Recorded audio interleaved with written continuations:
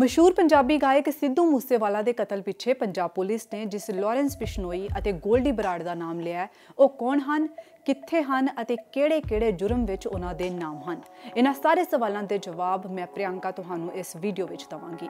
29 ਮਈ ਦੀ ਸ਼ਾਮ ਮਾਨਸਾ ਵਿੱਚ ਸਿੱਧੂ ਮੂਸੇਵਾਲਾ ਦਾ ਗੋਲੀਆਂ ਮਾਰ ਕੇ ਕਤਲ ਕਰ ਦਿੱਤਾ ਗਿਆ, ਜਿਸ ਤੋਂ ਕੁਝ ਘੰਟਿਆਂ ਬਾਅਦ ਹੀ ਪੰਜਾਬ ਪੁਲਿਸ ਦੇ ਡੀਜੀਪੀ ਵਿਕੇ ਪਵਰਾ ਨੇ ਕਿਹਾ ਕਿ ਬਿਸ਼ਨੋਈ ਗਰੁੱਪ ਨੇ ਇਸ ਦੀ ਜ਼ਿੰਮੇਵਾਰੀ ਲਈ ਹੈ ਅਤੇ ਇਸ ਨੂੰ ਵਿੱਕੀ ਮਿੱਡੂ ਖੇੜਾ ਦੇ ਕਤਲ ਦਾ ਬਦਲਾ ਦੱਸਿਆ ਸੋਸ਼ਲ ਮੀਡੀਆ ਤੇ ਇੱਕ ਕਥਿਤ ਫੇਸਬੁੱਕ ਪੋਸਟ ਗੋਲਡੀ ਬਰਾੜ ਵੱਲੋਂ ਕਤਲ ਦੀ ਜ਼ਿੰਮੇਵਾਰੀ ਲੈਣ ਦਾ ਦਾਅਵਾ ਵੀ ਕਰਦੀ ਹੈ। ਹਾਲਾਂਕਿ, ਇਸ ਦੇ ਸਹੀ ਹੋਣ ਦੀ ਪੁਸ਼ਟੀ BBC ਨਹੀਂ ਕਰਦਾ।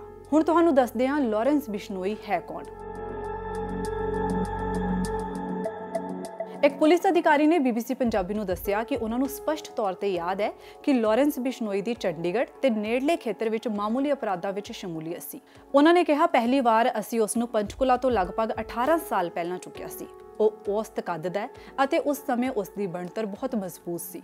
ਪੁਲਿਸ ਅਧਿਕਾਰੀ ਨੇ ਕਿਹਾ ਮੈਂ ਉਸ ਨੂੰ ਉਹਨਾਂ ਵਿੱਚੋਂ ਯਾਦ ਕਰਦਾ ਹਾਂ ਜੋ ਦਿਖਾਵੇ ਲਈ ਅਪਰਾਧ ਕਰਦੇ ਸੀ। ਸਾਨੂੰ ਨਹੀਂ ਪਤਾ ਸੀ ਕਿ ਉਹ ਇਸ ਪੱਧਰ ਦਾ ਗੈਂਗਸਟਰ ਬਣ ਜਾਵੇਗਾ।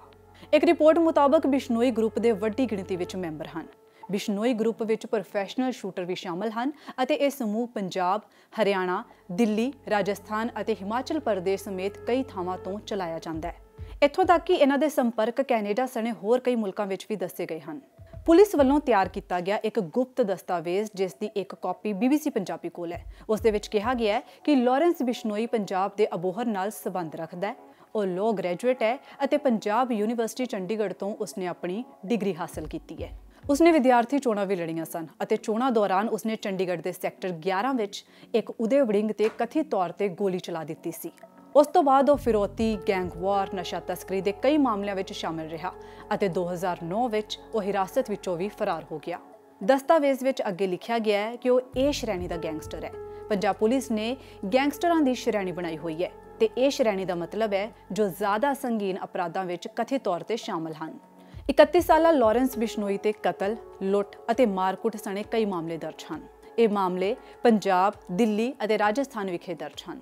ਲਾਰੈਂਸ ਬਿਸ਼ਨੋਈ ਪਹਿਲਾਂ ਰਾਜਸਥਾਨ ਦੀ ਭਰਤਪੁਰ ਜੇਲ੍ਹ ਵਿੱਚ ਬੰਦ ਸੀ, ਪਰ ਅੱਜ ਅੱਜਕੱਲ ਉਹ ਦਿੱਲੀ ਦੀ ਤਿਹਾੜ ਜੇਲ੍ਹ ਵਿੱਚ ਬੰਦ ਹੈ। ਲਾਰੈਂਸ ਬਿਸ਼ਨੋਈ ਨੇ ਪੰਜਾਬ ਯੂਨੀਵਰਸਿਟੀ ਚੰਡੀਗੜ੍ਹ ਤੋਂ ਐਲਐਲਬੀ ਕੀਤੀ ਹੈ। ਸਾਲ 2009 ਵਿੱਚ ਬਿਸ਼ਨੋਈ ਦੀ ਮੁਲਾਕਾਤ ਉਸ ਸਮੇਂ ਦੇ ਸਟੂਡੈਂਟ ਪ੍ਰੈਜ਼ੀਡੈਂਟ ਗੋਲਡੀ ਨਾਲ ਹੋਈ ਅਤੇ ਉਸ ਤੋਂ ਬਾਅਦ ਹੀ ਬਿਸ਼ਨੋਈ ਯੂਨੀਵਰਸਿਟੀ ਪੋਲਿਟਿਕਸ ਵਿੱਚ ਐਕਟਿਵ ਹੋਣ ਲੱਗਾ। ਬਿਸ਼ਨੋਈ ਭਾਈਚਾਰੇ ਨਾਲ ਸੰਬੰਧਿਤ ਲਾਰੈਂਸ ਬਿਸ਼ਨੋਈ ਦਾ ਨਾਮ ਉਸ ਵੇਲੇ ਖਾਸ ਚਰਚਾ ਵਿੱਚ ਆਇਆ ਸੀ, ਜਦੋਂ ਉਸ ਦੇ ਗੈਂਗ ਨਾਲ ਜੁੜੇ ਇੱਕ ਵਿਅਕਤੀ ਨੂੰ ਸਲਮਾਨ ਖਾਨ ਨੂੰ ਧਮਕੀ ਦੇਣ ਦੇ ਮਾਮਲੇ ਵਿੱਚ ਗ੍ਰਿਫਤਾਰ ਕੀਤਾ ਗਿਆ ਸੀ।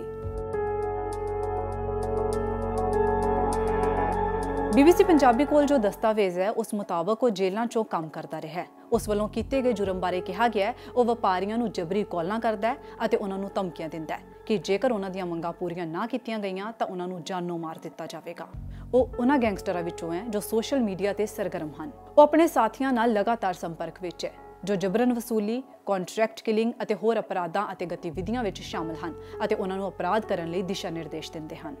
ਗੈਂਗਸਟਰਾਂ ਵਿਰੁੱਧ ਪੁਲਿਸ ਕਾਰਵਾਈ ਨਾਲ ਨਜਿੱਠਣ ਵਾਲੇ ਸਾਬਕਾ ਪੁਲਿਸ ਅਧਿਕਾਰੀ ਨੇ BBC ਪੰਜਾਬੀ ਨੂੰ ਦੱਸਿਆ ਕਿ ਉਸ ਦੇ ਉਭਾਰ ਦੇ ਦੋ ਮੁੱਖ ਕਾਰਨ ਹਨ। ਇੱਕ ਤਾਂ ਸੋਸ਼ਲ ਮੀਡੀਆ ਜਿਸ ਰਾਹੀਂ ਉਹ ਜੇਲ੍ਹ ਵਿੱਚ ਹੋਣ ਦੇ ਬਾਵਜੂਦ ਕੰਮ ਕਰ ਰਿਹਾ ਹੈ। ਅਤੇ ਦੂਜਾ ਉਸ ਦੇ ਖਿਲਾਫ ਨਾਕਾਫੀ ਕਾਨੂੰਨੀ ਕਾਰਵਾਈ ਹੈ।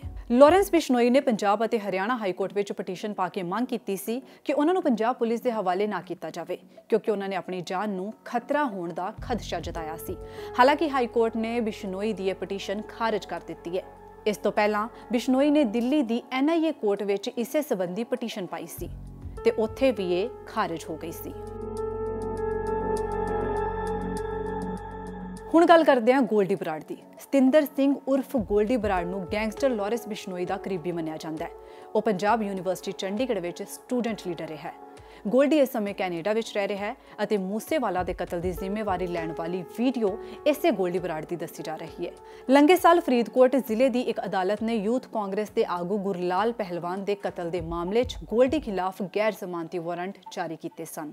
ਇਸ ਤੋਂ ਇਲਾਵਾ ਗੁਰੂਗ੍ਰਾਮ ਵਿੱਚ ਹੋਏ ਦੋਹਰੇ ਕਤਲ ਦੇ ਮਾਮਲੇ ਵਿੱਚ ਵੀ ਗੋਲਡੀ ਦਾ ਨਾਮ ਸਾਹਮਣੇ ਆਇਆ ਸੀ। ਅਜਿਹੇ ਹੀ ਹੋਰ ਵੀਡੀਓਜ਼ ਦੇਖਣ ਲਈ ਸਾਡੇ YouTube ਚੈਨਲ ਨੂੰ ਸਬਸਕ੍ਰਾਈਬ ਕਰੋ। Facebook, Twitter ਅਤੇ Instagram ਤੇ ਸਾਨੂੰ ਫੋਲੋ ਕਰੋ ਤੇ ਸਾਡੀ ਵੈਬਸਾਈਟ bbc.com/punjabi ਤੇ ਜ਼ਰੂਰ ਆਓ। ਧੰਨਵਾਦ।